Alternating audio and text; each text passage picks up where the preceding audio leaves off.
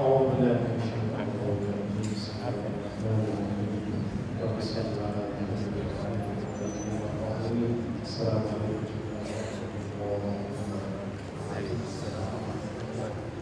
بدأ بالحديث عن إحياء عاشوراء ونعرج على ذلك على أنواع الفساد موضوع الشرك الأكبر وبعض الأمور الأخرى قصيرة مع أنظار الخير وخطوات هذه الأنواع نقف معه بالإشارة حكاية عاشوراء في البحر. بما أن عاشوراء تمثل واحدة من أعظم الحركات الإصلاحية في التاريخ. بأهدافها العظيمة التي رسمها الإمام الحسين عليه الصلاة والسلام.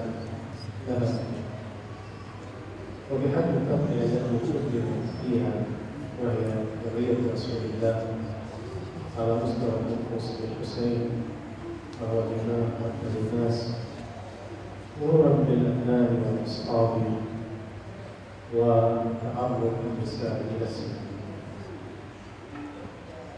هذا الحدث العظيم الذي يراد منه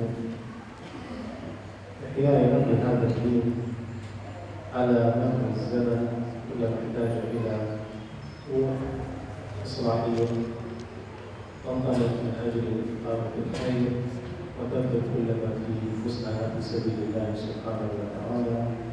فمبدأ يواجه فساد الانحراف المنكر ويعمل على تصحيحه. وهذا ما حدث طول التاريخ. ونحن في هذه المقطع التاريخي نشهد إلى أي حجم أثر كربلاء عمليات إصلاحية كبرى تجري في أعمارنا هذه نشاهد سقوط أنظمة ديكتاتورية تحت مبادئ وقيم الثورة الحسينية ووجود حركة مقاومة وجه الاستعمار بمبادئ وقيم الثورة الحسينية وغيرها من مظاهر أفوال الأمة تعود إلى قيم مثل هذه العظيمة. إذا زلنا نحيي ثورة بهذا الحجم نحيي ثورة الإمام المعصوم نحتاج أن نجتهد قدر الإمكان في إبراز هذا الكيان بما يتناسب مع هذا الإمام وما يتناسب مع هذه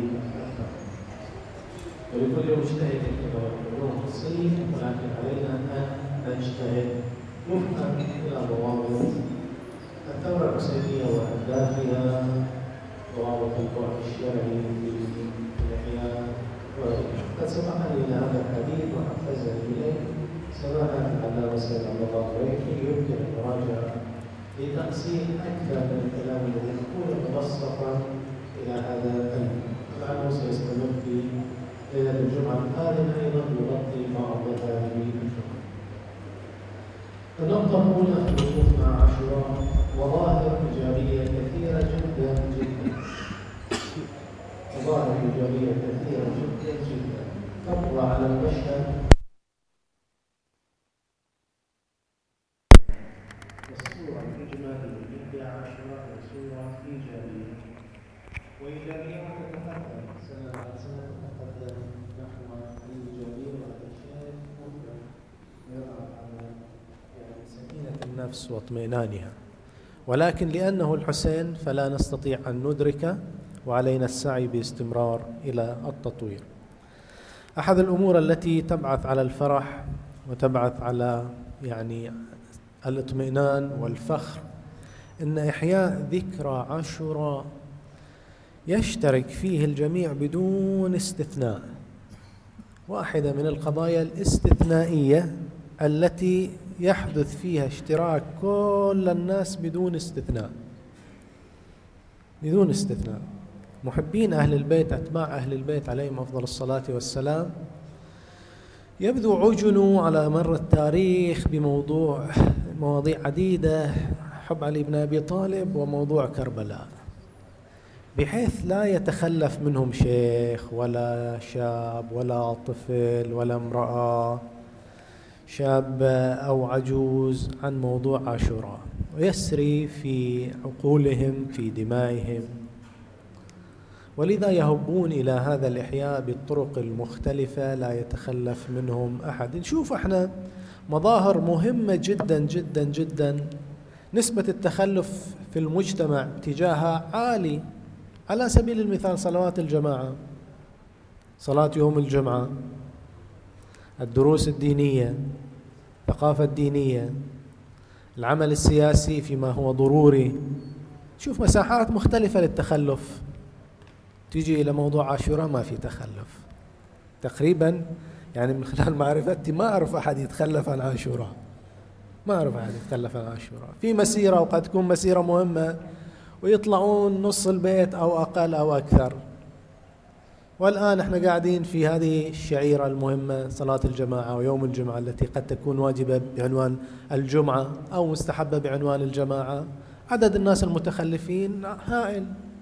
عاشوراء تأتي بالجميع طواعية وبإرادة وبرغبة وهذا شيء من أسرار الحسين عليه أفضل الصلاة والسلام. بركات الحسين بركات الله على الحسين وإحياء ثورة الحسين. الأكثر من ذلك عاشوراء ما عادت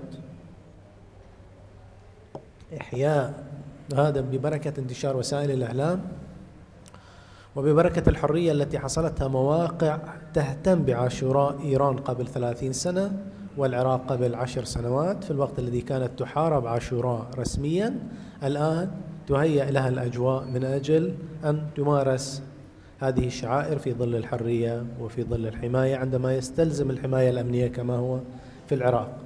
لكن هذا شو سبب؟ هذا سبب أن العالم كله يلتفت إلى عاشوراء. مثل ما العالم كله غير العالم الإسلامي يلتفت إلى فترة الحج ويحط تقارير عن الحج ويناقش موضوع الحج. اليوم بدأنا ندخل سنة بعد سنة إلى موضوع عاشوراء. ندخل في موضوع البي بي سي عن عاشوراء فضائيات عن عاشوراء. عن التجمع عن الشعارات عن المعنى عن الأهداف عن الكذا. وهذا الزخم أخذ يمتد في العالم كله حتى العالم الإسلامي مو حتى. فالعالم الإسلامي نتيجة لهذا الزخم أول عاشوراء هي المنامة واللي يحبون يجون المنامة من السنة ومن الشيعة بالنسبة للبحرين. والمناطق الأخرى بتعيش نفس الإيقاع. اليوم لا عاشوراء يفرض نفسه سؤال وتحدي فتشوف الجميع يتحدث عن عاشوراء اللي يحب واللي ما يحب. اللي يكره ولا حدث يفرض نفسه على الدنيا بأكملها وآخذ في فرض نفسه سنة بعد سنة على الدنيا كلها وبالتالي تأخذ مساحة أكبر انتشار عاشوراء. وهذه حالة إيجابية. الحالة الإيجابية الأخرى التي شاهدناها في السنوات الأخيرة وتتركز في هذه السنة اهتمام الشباب والشابات بحضور المجلس الحسيني. المجلس المنبر الحسيني. إذا نرجع قبل عقد من الزمان كانت عندنا مشكلة كبيرة جدا. ودائما نذكرها بأن يا شباب مو الحسين فقط الموكب والحسين الموكب اللطم أو موكب التفرج. الحسين أيضا المأتم اللي هو الشعيرة الأساسية التي أقامها الأئمة التي وصوا عليها والتي تشكل أحد الطرق للدخول إلى العمق الحسيني. ما يمكن الدخول للعمق الحسيني فقط من العزاء ومن المرسم ومن غيرها. كل هذه أمور ولكن أكثر شيء يمكن الدخول منه إلى العمق الحسيني. العمق الحسيني ما هو؟ العمق الحسيني هو الإسلام كله. الحسين في حركته أعطانا بعد عندما يقف في حزة الظهيرة يؤدي الصلاة. ويسقط من عنده شهداء وهو عدد محدود لأداء الصلاة. ويقول الصلاة عندما يبيتون ليلة العاشر لهم دوي كدوي النحل مجودين كتاب الله. يقول لنا كتاب الله. عندما يتعامل بهذه الأخلاق والسمو الأخلاقي مع أعدائه يقول لنا أخلاق. عندما يلتزم بكل صغيرة وكبيرة وهو في تحرك في بعده الشرعي وهو الإمام المعصوم يقول لنا الحدود الله يجب أن ترعى. الحسين جاب الإسلام كله هو فكرة هذا. فعندما نحيي عاشوراء نحيي عاشوراء نحتاج الوصول إلى كل هذه الأبعاد. لا يمكن الوصول إلى هذه الأبعاد بغير المنبر الحسيني. ولذا يعني أشد على أيدي الشباب والشابات وأبارك لهم هذا التوجه. ونأمل أن يستمروا في هذا الاتجاه وهني تجي مسؤولية على الخطباء أن يكافئوا هذا الحضور الشبابي المتميز بما يغذيهم تغذية. تساعدهم تساعدهم في شنو؟ تساعدهم بهذه الدرجات. تساعد المنحرف الذي جاء به عاشوراء على خلاف كيل إحنا نصلي هنا كل يوم ما نجيبه. جابت عاشوراء وهو ما له علاقة بالدين بمعنى الالتزام بحدود الله وقد يكون عاصي في كل شيء أو عاصي في أمور كثيرة وفي أمور أساسية. إجاك عند المنبر إجاك إلى الموكب إجا إلى الحسين عليه أفضل الصلاة والسلام إجا إلى سفينة النجاة. واحدة من المهام أن الخطيب ياخذه يدخله في سفينة النجاة ويخليه ملتحق بالسفينة مو في عشرة عاشوراء إنما يلتحق بالسفينة في كل السنة. واحدة من الوظائف التي تلقيها عاشوراء. فأبارك للشباب والشابات هذا الحضور المتميز. وأشكرهم وأدعوهم إلى الاستمرار في ذلك. ظاهرة إيجابية أخرى هي تصدي عدد من المؤسسات للتخطيط لإحياء عاشوراء. المؤسسة الأولى هي المؤسسة المأتم مؤسسة المأتم واهتمامها بدرجة أكبر يوم بعد يوم على التخطيط إلى عاشوراء في الأبعاد المختلفة. مثل ما يهتمون بموكب العزاء وحجم الموكب حجم المستمعة. أيضا بدأوا يركزون أكثر وهذا نتيجة إلى وجود إدارات شابة نتيجة إلى وجود انتخابات في المآتم نتيجة إلى وجود النوع من الحركات. أخذوا يهتمون بمختلف الجوانب في موضوع إحياء عاشوراء وأمامهم شوط كبير جدا جدا حتى البلوغ إلى ذلك. بعد لا زال أمام إدارات المآتم شوط كبير إلى بلوغ. إحياء عاشوراء ما يستحق. ولكنهم على الطريق يسيرون. الجهة الثانية المؤسسات الأخرى بدأت تدخل مؤسسات مثل المجلس العلمائي في التخطيط إلى أحياء عاشوراء. جمعية التوعية كمؤسسة دينية ثقافية في التخطيط إلى أحياء عاشوراء. وأيضا أقول عليهم لا زالوا في بداية الطريق وعليهم شوط كبير جدا. المؤتمرات التي يعقدونها التوصيات التي يخرجون بها تحتاج إلى متابعة طوال السنة ولا تتوقف عند عاشوراء. دفعهم بعدد من البرامج وهذا شيء إيجابي. يدفعون بشعار عاشوراء يدفعون ببعض الممارسات يفتحون خيم توعية فكرية تضيف مساحة إلى العمق العاشورائي. كل هذا مؤشر إيجابي في إحياء عاشوراء. مظاهر أخرى صاحبت الإحياء على مدى سنوات عديدة الآن وإن شاء الله تستمر وتتجذر وتزداد. منها عملية التبرع بالدم وهي رسالة عاشورائية راقية جدا تستقطب الاحترام والتقدير على المستوى المحلي. أعداء أعدائك يجي يحط عيونه في الأرض. عندما تقول له أن هؤلاء بحب الحسين عليه أفضل الصلاة والسلام يقدمون دماءهم إلى منو؟ إليك. إلى مريضك. إلى محتاج الدم الأجنبي. غير المسلم إلى الإنسان من يستطيع أن يقف؟ ما في. شيء ما ما وين ما تجيه ما في إلا أنك تخضع له وتحترمه وتنكس رأسك وتمشي. إذا أنت عدو وإذا أنت محب تفتخر به. واحد من الأمور اللي نفتخر فيها. نفتخر فيها كشيعة محبين لأهل البيت نحيي ذكرى أهل البيت عليهم أفضل الصلاة والسلام ونقدم دماءنا في سبيل مساعدة المحتاجين من المرضى من مختلف بني البشر.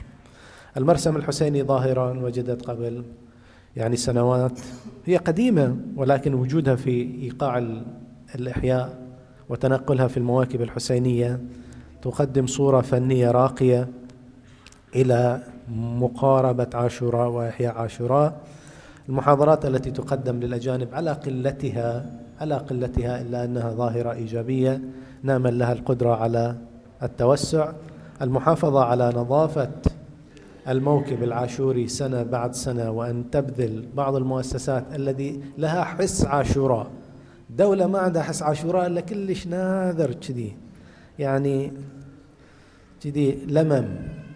وإلا حدث بهذا الحجم المفروض يكون محل اهتمام الدولة إعلاميا تخطيطيا كل الجوانب. لكن على الأقل بعض المؤسسات التي تهتم بإبراز عاشوراء منها جوانب النظافة فيه وتساهم فيه البلدية بهذا الاتجاه. هذه ظواهر إيجابية والظواهر الإيجابية في عاشوراء كثيرة جدا لا تحصى. آه، الاهتمام بفكرة الصلوات المرتبطة بالمواكب.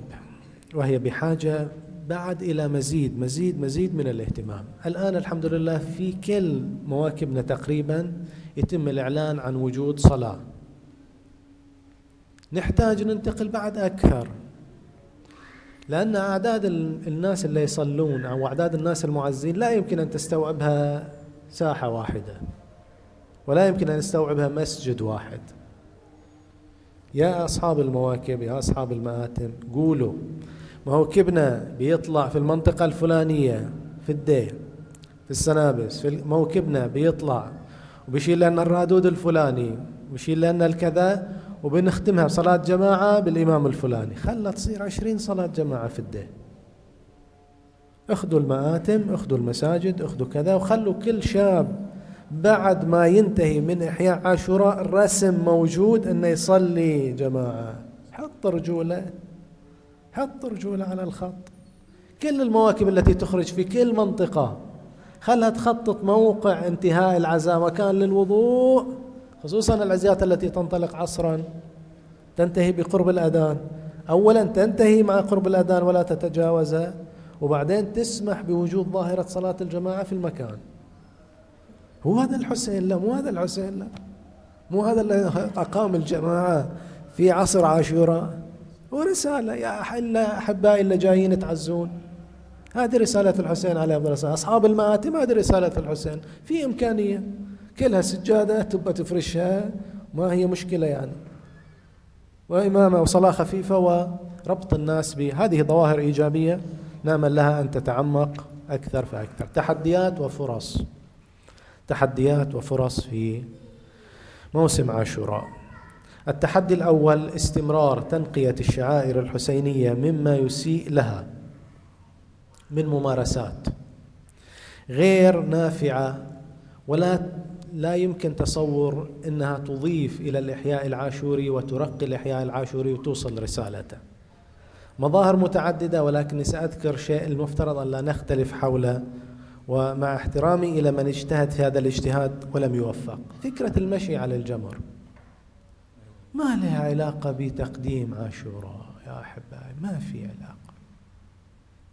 والحمد لله أن ما حد الحين لحد الحين من الفقهاء يأيدها. وبالتالي ليش نستجلب بعض الأمور لم ما أشوف فيها كل ما تفكر فيها يمين وشمال ما لها حد ما في فكرة هذا الأذى إلحاق الأذى بالنفس مو فكرة إسلامية ولا هي فكرة تضامن مع أهل البيت.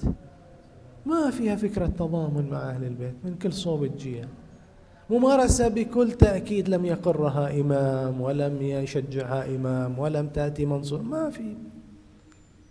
ومارسوها ناس في يوم من الأيام تحت طقوس غير إسلامية وانتقلت كعادات وأعراف إلى الطقس الإسلامي ما لها معنى يا أيها الأحبة جزاكم الله خير.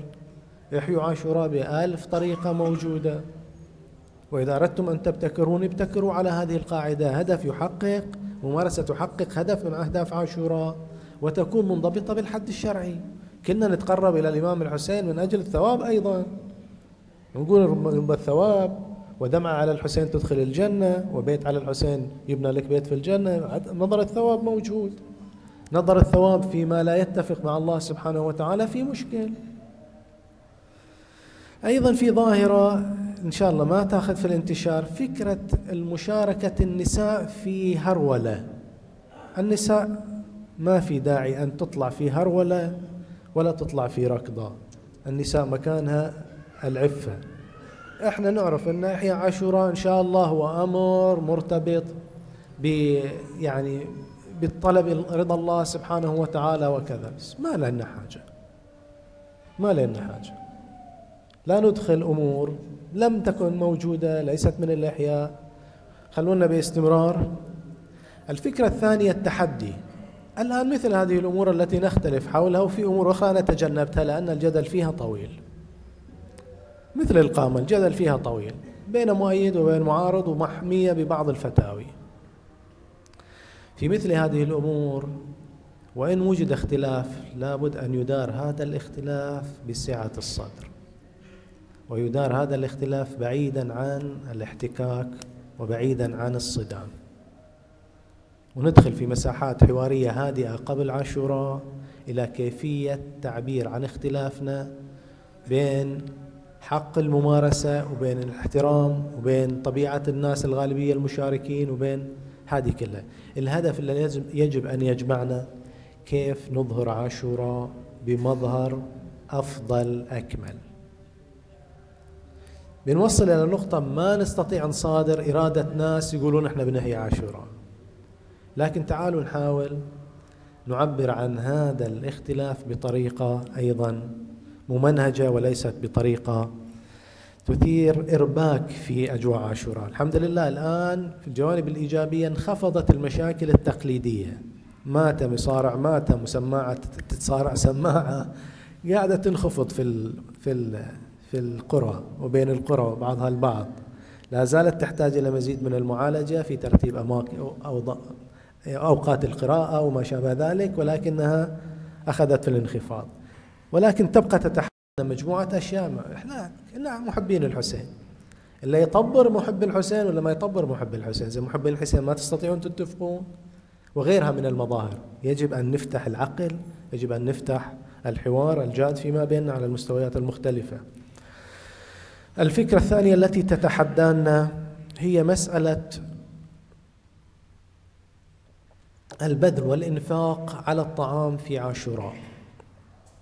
وإلها ضوابط. نحن نسعد ونعرف ونشجع على الإنفاق على البذل في إحياء عاشوراء. وكلما احتاج عاشوراء البذل في سبيله مطلوب. بس أمر اللي يزيد عن حاجة عاشوراء يزيد عن حاجة المعزين يزيد عن حاجة عن طاقة المعزين وطاقة غير المعزين في استيعابه. ولا سمح الله يؤول نسبة من عنده إلى الزبالة. لا الآن سؤال بسيط. طبعا الآن من المسؤول؟ هاي تحدي كبير واحد من التحديات الكبيرة. بس هذا الحسين عليه أفضل الصلاة والسلام. هاي الحسين. تصور تصور هاي المنظر وعندك آلاف القصص اللي تقدر تسويها. أن تودي جونية عيش بقول مثال كلش تودي جونية عيش من هنا إلى أفريقيا. أو تجمع تبرعات إلى إعصار الفلبين باسم الحسين في مواكب الحسين وتوديها هناك. تلايم خيمة تحطها إلى ناس مو مسلمين تحط عليهم شو اسمه أو ترمي كمية من الطعام في الزبالة. وين الحسين؟ الحسين مع هذا البذل على أفريقيا والبذل على الفلبين والبذل على الكذا. ولا ينرمي حبة رز واحدة. ثقافة أهل البيت ما تنرمي حبة رز واحدة. أهل البيت ما كانوا يطلع من بيوتهم زبالة أكل وعيش مرمية ما في ما هاي الحكي ما عندهم أهل البيت. وهم أكرم الناس في الدنيا أكرم الناس في الدنيا. يبيتون جواعة ويعطون أكلهم إلى الناس. مو هذا علي بن أبي طالب؟ مو هذا الحسين؟ مو هذا الحسن؟ الآن من هو المسؤول؟ هذه تحديات في ناس واجد تجي تعزي أنا وجهي بعد مفتوح أنا صاحب ماتم أنا صاحب موكب ما يصير الناس ما تجي ما تحصل أكل. كيف ننظم هذا؟ لا يقتصر عقلنا بس يتجمد. بالنتيجة النهائية ما بعرف. كنت أفكر في هذا الموضوع. على مستوى هذه العاصمة لو يخلق مأتم أو مطبخ مركزي وهذا لين يعزون وموكبهم ليلة شيال يجيب لهم ألف وليلة الشيال يجيب لهم عشرة آلاف وبعدين يستحون إذا جاءوا عشرة آلاف. ما حصلنا أكل لا سمح الله واحد قال ما حصلنا أكل. هيك يعني هذا صاحب الماتم. ما بعرف فكرة يكون في مطبخ مركزي. هذا الماتم يطبخ يعني قدرين يطبخ ثلاثة بحيث أنه هذا الأمر إذا احتاج إلى اضطراري هذا المطبخ المركزي زوده. إذا زاد عنده قدرين هذا المطبخ المركزي يستوعبهم حتى يوزعهم على الحلقة الثانية اللي تبدي الساعة 12 لأنها تخلص الساعة 9 وأكل الناس. وين ما تروح؟ قالوا زاد الحسين. تروح الساعة سبعة زاد له ثمان زاد له حسين تسعة زاد له حسين يخلص العزاء الساعة فنتين زاد له حسين ممكن أفكار مختلفة. الفكرة الفكرة أنه الحسين لا يريدنا أن نبذر أو نلقي بشيء الناس محتاجته. في البحرين محتاجته. الأسر محتاجته يا أحبائي المصيبة قاعد تزداد عندنا. الأسر تحتاج. زين إذا إذا أخذنا هذا وسع في فهم الموضوع. هذا من أجل العباس. يا أخي هذا من أجل العباس. عيش غير مطبوخ من أجل العباس يروح إلى شو اسمه؟ إلى البيوت المحتاجة. لحم من أجل العباس يروح إلى البيوت المحتاجة. هذا من أجل العباس. هذا في سبيل الحسين. هذا في سبيل كذا يدخل يدخل ال الصندوق الخيري. تدخل الناس بحيث أن كل من أنفق في سبيل الحسين مأجور ومثاب وأنا أعرف وأقطع بأن لا أحد يريد أن يبذر ولكن الواقع قائم. كيف نتحدى؟ كيف نواجهه في واقع قائم.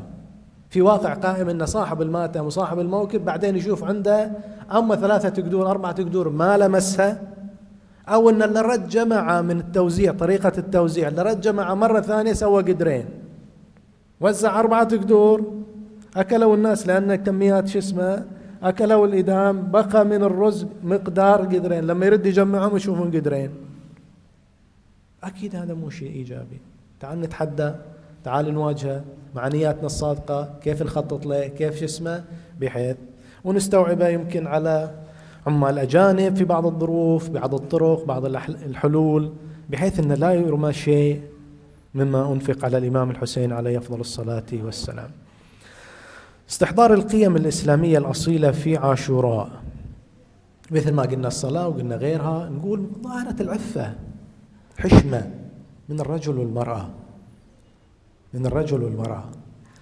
تحضر زينب عليه أفضل الصلاة والسلام كأعلى رمز للعفة في في الدنيا بعد أمها الزهراء عليه أفضل الصلاة والسلام. ما في أحد بعد. ما في أحد. يقولون روايات أنا ما محقق إنها ولكن علي بن أبي طالب يروح يطفي الليتات أو الإنارة مو الليتات هذا القنديل السراج الموجود عند قبر رسول الله زينب جاية تزور. مو هاي الرواية موجودة عندنا؟ سمعتها من الخطباء زمان. ما بعد ساعات نروج روايات ما ندري عدل لهم يا سمعت كذي من الخطيب إن العباس يخفي خطوات زينب ما بعرف يعني. ما سمعتها واجد هاي الرواية. رواية علي بن أبي طالب سامنها كثير.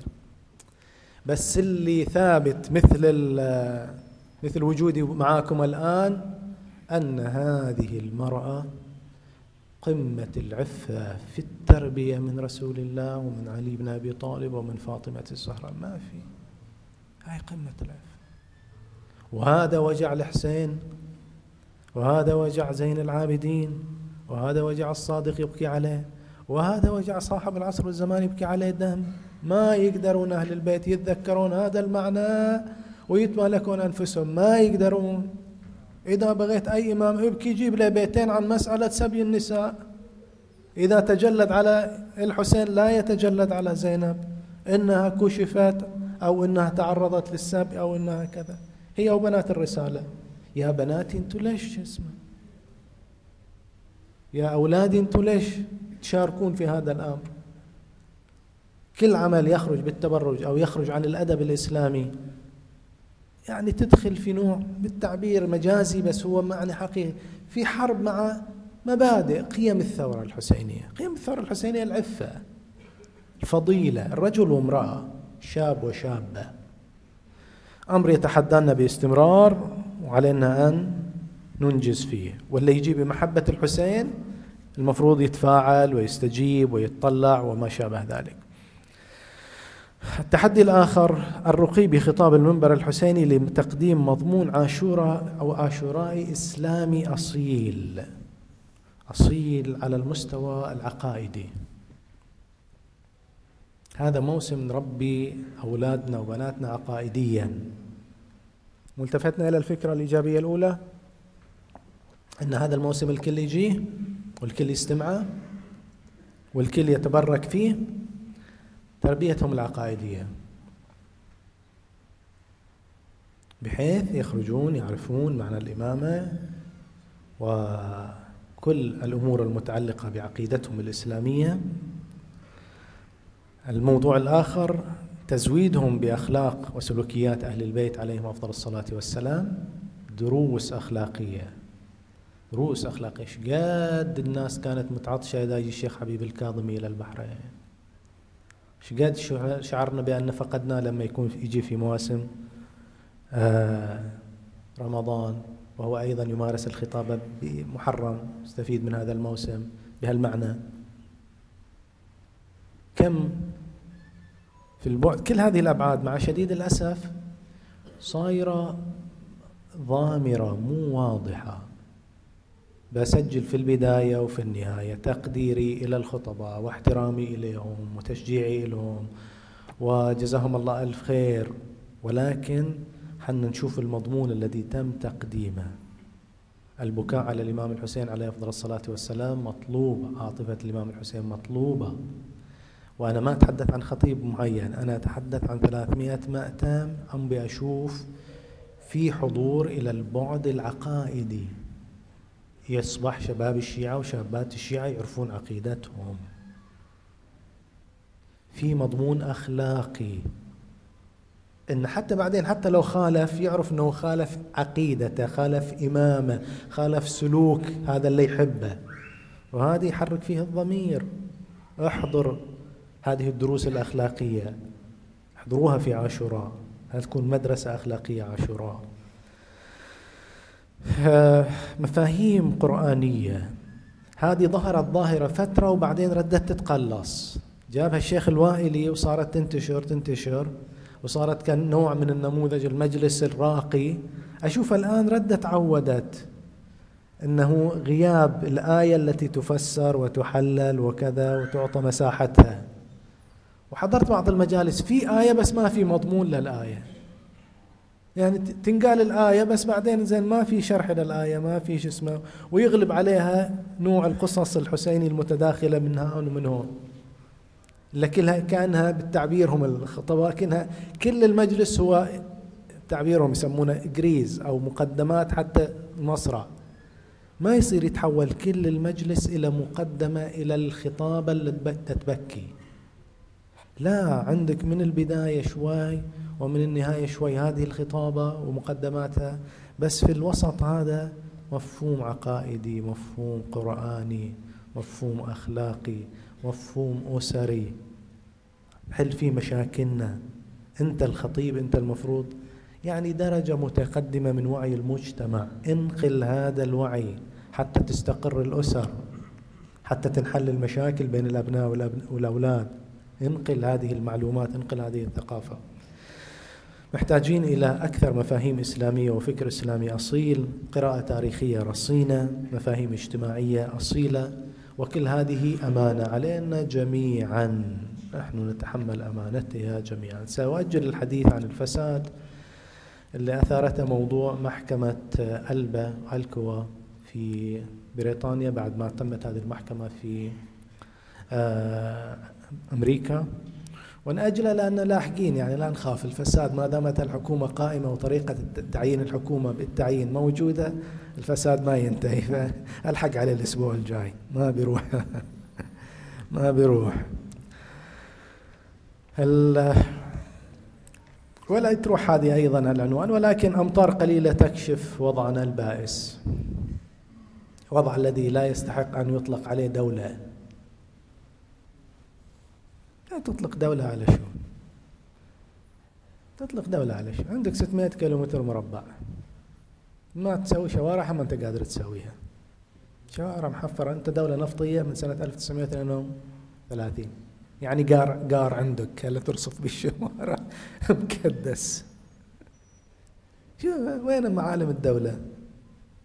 معنى الدولة الحديثة أحد معاني الدولة الحديثة أن الدولة المستقرة المفروض تسوي كل هذا بسهولة ويسر. ما عندك صرف صحي. دولة دولة تعجز عن صرف صحي. مو صرف صحي بعد مثل الأوادم واستثمارها وإعادة تنقيتها والقصص مال هذه اللي الحين يقولونها والخضرة وما خضرة وهالحكي. بس هولي يروح في ماي مطر. مو تصرف صحيح. بس الحين ما نسوي صرف صحيح نسوي هولات يروح فيها ماي المطر مو صرف صحيح بس حتى نتخلص ما عندنا قدرة. ما عندنا قدرة. المطر مو شيء يعني شو اسمه صحيح إحنا عندنا كمية الأمطار في البلد محدودة. بس نعرف نعرف كنا إحنا في البحرين نعرف إن المنطقة الفلانية يتجمع فيها المطر صار لنا عشرين سنة. المنطقة الفلانية الشارع الفلاني هذا فيه مطر. إذا طاع المطر لا تطوف من هناك لأنه يتحول إلى مستنقع. سحر يعني مو سحر. هو أول مرة تقول هذا فاجأني. ثاني مرة ما استوى المشروع. بس عقب أربعين سنة والبقعة هي نفس النقعة. وين آثار دولة؟ حكي عن دولة وين؟ ومو كذي بس. والدولة ولا جابت خبر يعني. كتبوا كذبتين مثل ما تكتبون على البعد السياسي. ولا جابت خبر. ولا كأن صاير عندها مشكلة. ولا كأن المساكين الفقارة تبهدلوا.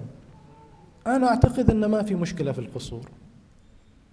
وما فاضت القصور ولا دخل الماء داخل البيوت الرافهة. أما بيوت الناس في القرى وحتى المدن الإسكانية الجديدة تضررت بيوت إسكان من بيوت ما انسكنت. طيح عليها قطرتين مطر تخر وين وهذا عنوان يتعلق بالفساد عنوان الفساد اللي قلناه. ولكن أمطار رحمة قليلة تكشف لك حجم فساد هائل وتخلف هائل وعدم استحقاق استمرار هذه الحكومة يوم واحد. أعرف الحل. الحل هو في حكومة منتخبة. ما في حل قبل هذا. لا الفساد بيتوقف ليس من طبيعة الحكومة قدرة مواجهة الفساد ليس من طبيعة هذا النظام. بتشكيلته قدرة مواجهة الفساد ما يقدر. ما يقدر. هذا مثل اللي يقول متطلب في النار جذوة مات. في الماء ما يصير تشعل نار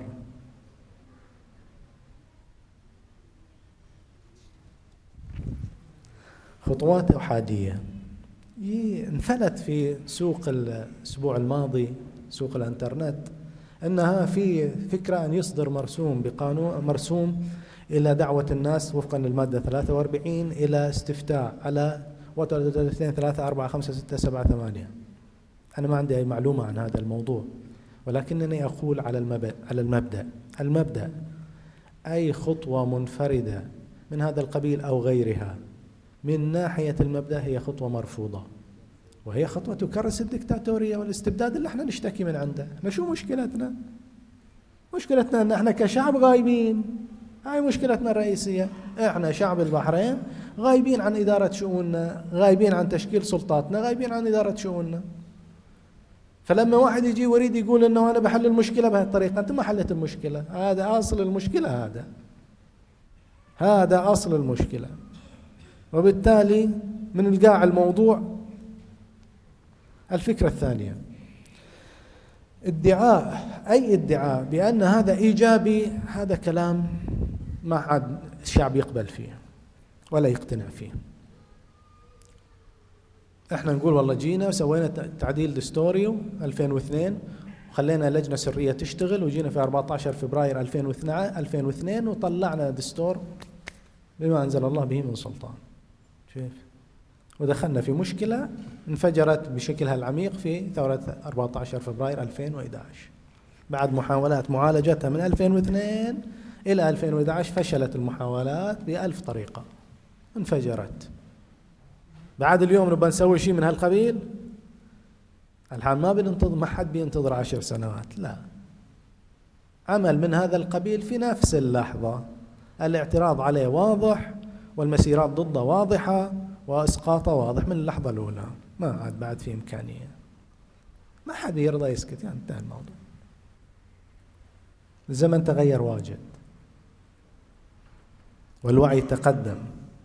والاستعداد إلى تصحيح المسيرة في أعلى درجاتها الفكرة الأخرى في محاولة في لفة شوف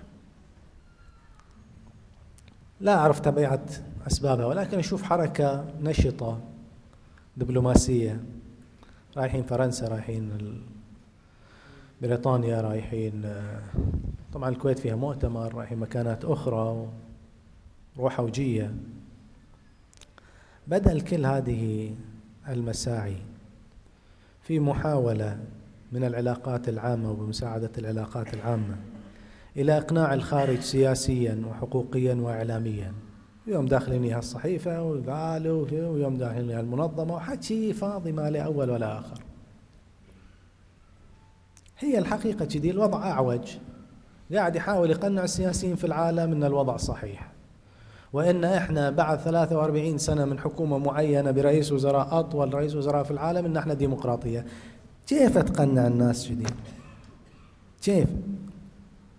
وتحاول تقنع الناس إن أنا الدولة المتقدمة في حقوق الإنسان وعليك تقرير شدته هلقى تقرير بسيوني 600 صفحة وعليك توصيات جنيف أكبر توصيات صدرت من مجلس حقوق الإنسان ضد دولة وعليك آلاف تقارير المنظمات الحقوقية. بعد ما وصلت إلى المعارضة ومعاناتها اللي هي أكبر من كل هذا.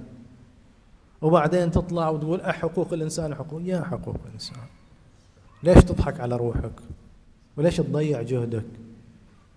وبعدين إذا كتبت الواشنطن بوست طلع ها أنتم ما هذا وأنتم شو؟ صارت المقالات تتفلت عليكم بعشرات المقالات في كل الصحافة المحترمة. وتسعون جاهدين حتى تدفعون آلاف الدنانير من ميزانيتنا حتى تطلعون مقال يكتب إليكم كاتب مأجور في صحيفة بريطانية أو صحيفة أمريكية. ليش مدوخين روحكم هالدوخة كلها صلح الوضع في البلد. ليش تنفق مليارات؟ وصلنا مليارات انفاقنا على على قمع هالناس خلي العقل يحضر وحل الموضوع ولا تحتاج تنفق هالمليارات. وبدل ما تنفقها على سلاح تنفق على بنية تحتية حتى الناس ما تصيدها مطر مستقبلا. تغرق ب يعني نقطتين مطر. حتى الناس ما تقعد في بيوت متهالكة. دولة نفطية دولة نفطية دولة نفطية. البيت كل واحد قاعد هو زوجته في غرفة. أب اللي عنده خمسة أولاد يعني خمس زوجات. وش يسوي؟ وين يروحون؟ وين يروحون؟ لا المعاشات اللي تفتح فيها العيون.